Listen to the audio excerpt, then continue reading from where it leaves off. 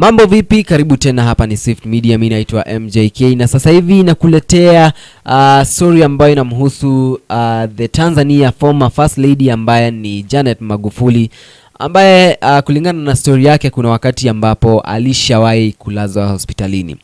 Kwa, mara, kwa marais wengi wa Afrika uh, kuwa kwenye uongozi kutoa fursa ya kuonyesha ladha ya bei kali na hamu ya kupendeza, kuanzia safari za kifahari uh, za kigeni kutafuta huduma ya matibabu nje ya nchi na nyala zingine uh, za nguvu wanajaribu kuishi maisha mazuri, lakini haikuwa hivyo kwa rais wa Tanzania John Pombe Magufuli. Badala yake alileta suluhisho za nyumbani. Mwaka mmoja tu baada ya kuapishwa kwa kuwa rais, mkewe Janet alilazwa katika hospitali uh, ya umma. Picha kutoka ikulu ya Tanzania zilionyesha Magufuli akimtembelea mkewe katika hospitali ya kitaifa ya Muhimbili, kituo cha umma jijini Dar es Salaam. Hatua hiyo ilitangazwa sana na kupongezwa na umma ambao waliona kama ali, anaimarisha imani katika vituo vya eneo hilo, lakini a, kulikuwa na zaidi kuwa hiyo, sio? Mara nyingi waga tunaona marais wengi Uh, kama hapa nchini Kenya tulishashuhudia hayo, watu ambao wana uwezo mkubwa wa hela wakigonjeka, mara nyingi wanaenda kutafuta uh, usaidizi kule nje, labda India na vitu kama hizo. Magufuli aliyepewa jina la utani ambalo ni bulldozer mara kadhaa alikuwa ameto, uh, ametaka suluhisho uh, za ndani na, na za bei rahisi uh, pale kwake Tanzania kwa sababu alitambua sana na alitambua sana kwamba Tanzania wana uwezo wa kujifanyia mambo kama hayo ambayo watu wengi huaga wanaenda kuyatafuta kule nje. Kwa hiyo yeye alihakikisha kwamba uh, yote ambayo anayahitaji anaweza akayapata pale Tanzania. Kwa hiyo hakuna hata siku moja, ilikuwa ni ngumu sana Magufuli, labda mtu amegonjeka au mtu maarufu, yeye aweze kutoka nje ya nchi na kwenda labda kutafuta usaidizi kule India na nchi zingine ambazo uh, ni tajika sana ambazo zina uh, ziko on high level ya, ku, ya kutibu watu sio. Uh, na akasema hivi, wacha tutafute kujitambua ili kubadilisha eneo, sio Hayo ni maneno yake Magufuli. Tunahitaji uh, kulinda viwanda vyetu uh, vya nyumbani kwa faida ya eneo hili ambalo lina zaidi ya raia milioni uh, milioni moja na sabini. Alisema hayo maneno Magufuli ambayo aliwavutia wengi sana uh, kwa hotuba yake ya bunge la Afrika Mashariki. Zaidi ya miaka mitano uh, hii haikuwa ya kwanza uh, tu kwa Magufuli. Wakati wa zaidi ya miaka mitano madarakani, Magufuli uh, hakuwahi kusafiri nje ya Afrika hata siku moja eti kutafuta usaidizi. Yaani ilikuwa yani sio rahisi. Kwa hiyo watu wengi wanasema kwamba Magufuli alifanya mambo makubwa sana pale nchini Tanzania. Vivyo hivyo safari za wafanyikazi wa umma uh, zilisitishwa na zile za dharura uh, zilidhidishwa uh, tu na mkuu wa nchi na mkuu wa utumishi. Hatua hiyo ilisifiwa sana kwa sababu iliokoa pesa za walipa kodi. Juu ya hayo viongozi walitakiwa kuruka katika darasa la uchumi uh, tofauti na daraja uh, la kwanza au darasa la biashara, sio okay. Uh, Magufuli uh, wakati huo ambao alifanya hivyo, World Bank ilimsifia sana na kusema kwamba amefanya jambo la maana sana kuhakikisha kwamba hela nyingi ambazo zilikuwa zinatumika zimeweza kuwa save, na basi Tanzania ina uwezo wa kufanya maendeleo makubwa sana. Kulingana na ripoti ya Benki Kuu hiyo ambayo ni ya mwaka wa 2017 2017, serikali ya Tanzania uh, ilikuwa uh, iliyokuwa na karibu uh, bilioni 48 kwa kuzuia safari za mwaka wa 2015 na mwaka wa 2016.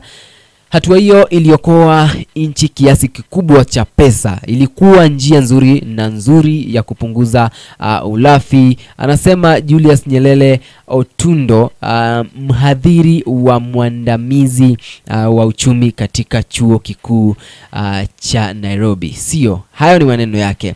Aliongeza na kusema haya lazima tujue ukali kwani uh, inaweza kuzaa uh, maskini uliokithiri Uh, pamoja na kwamba ni muhimu kupunguza matumizi uh, tunahitaji pia kuwa na malengo na kuidhidisha uh, uh, uh, bajeti ambazo uh, zinaweza kusababisha faida bora. Hayo ni maneno yake. Kaendelea uh, akasema yote yaliyosemwa na yaliyosemwa na kufanywa, marehemu Magufuli ameacha alama isiyofutika kwa sababu uh, imeona usima, tumeona usimamizi mkubwa na usimamizi mzuri kutoka kwake yeye kama rais wa uh, muungano wa Jamhuri ya Tanzania. Kwa hiyo tunaweza tukamsifia sana Magufuli kwa mambo hayo yote ambayo aliyoyafanya. Kumbuka kwamba mipango ya mazishi inaendelea kufanyika uh, siku uh, ya kesho. Uh, naibu wa rais Mama Samia atakuja kuapishwa asubuhi ya kuamkia kesho, na basi yote nitakujuza papa hapa. Kwa hiyo endelea kuganda nasi na basi nitakujuza yote zaidi ya hapo pia Uh, mazishi yanaendelea kupangwa na basi pia tutakujuza yote ambayo yatakuwa yakiendelea. Naweza nikasema Magufuli alionyesha mfano mzuri sana wakati ambapo alikuwa akimtembelea mkewe Janet katika hospitali wakati ambapo alikuwa amelazwa, na watu wengi walipenda sana kwa hicho ambacho alichokifanya yeye kama rais wa Tanzania.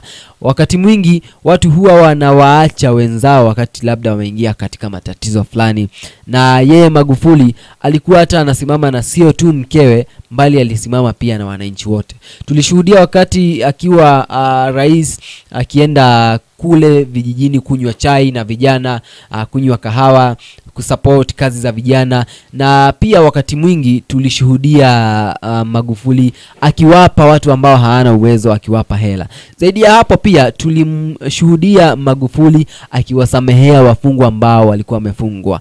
Kama umetazama wimbo wa Rayvanny ambao aliuachia, ambao alimuimbia Magufuli amezungumza kuhusu uh, wafungwa ambao Magufuli aliowasaidia uh, aliowasamehea ambao alikuwa amefungwa jela uh, kwa kifungo cha maisha aliwasamehea, na basi ikawa ndivyo hivyo, na basi sifa nyingi zina uh, tunapoamka tunapatana na taarifa mpya kumhusu Magufuli. Kwa hiyo uh, amefanya mambo makubwa sana kuhakikisha kwamba Tanzania inaenda vizuri. Kama uli unakumbuka wimbo wake Harmonize ambao aliuimba uh, kutoka kwa biti la Kwangwaru alionyesha maendeleo makubwa ambayo Magufuli aliyoyafanya kuhusu airport, ndege za Tanzania na kuje, ujenzi wa mabarabara na vitu kama zote kule vijijini akatengeneza kila kitu akatengeneza. Magufuli alikuwa ni rais ambaye hakuwa anacheka ikifika ni kazi, alikuwa anawavuta watu ambao hawafanyi kazi papo hapo. Kama unakumbuka, kuna wakati ambapo alimsimamisha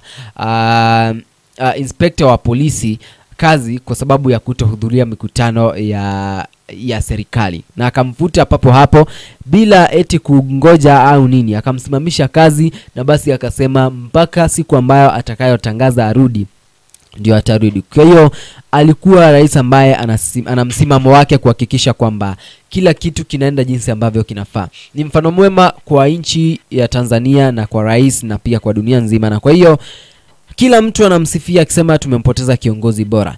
Hebu niambia ni kipi ambacho ulichokipenda kutoka kwake Magufuli hapo kwenye sehemu ya comment section, lakini subscribe kwa ajili ya kupata taarifa mpya kila wakati.